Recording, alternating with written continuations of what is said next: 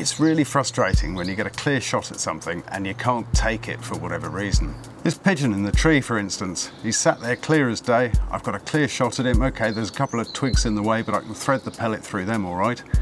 But I can't take the shot because the twigs and trees behind don't provide a solid backstop. The pellet can easily pass through and I know that there's houses behind there and it's just not a safe shot.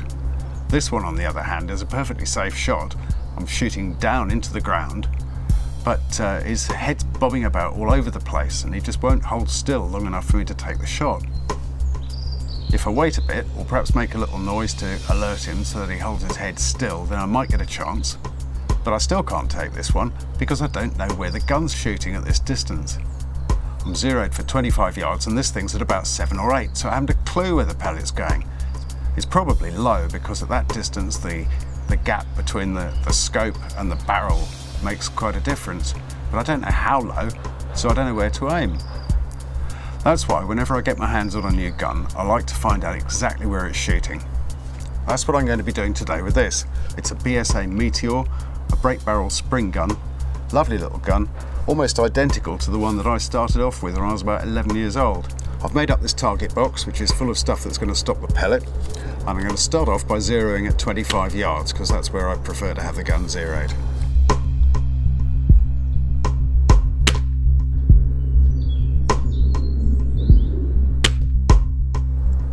Now we've got that zeroed at 25 yards, I need to know where the gun's shooting at all the other distances in between. I'm going to shoot at this same target at different distances, aiming dead centre of the target every time, then I can see where it's shooting at each distance and draw up a little diagram for myself that I can refer to later.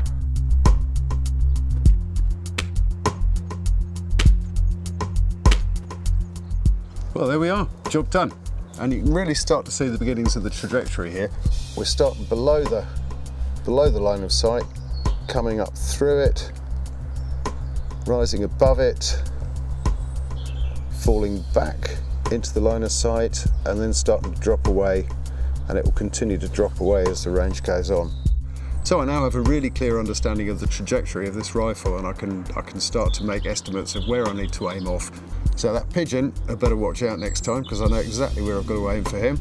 Now, I don't know about you, but I find this sort of thing slips my mind very quickly and it's best to write it down and keep it with the rifle. Now, a good way I've found of doing that is to write it on this cloth tape, sniper tape they call it, and then stick that on the butt of the rifle and then it's always there when you need it.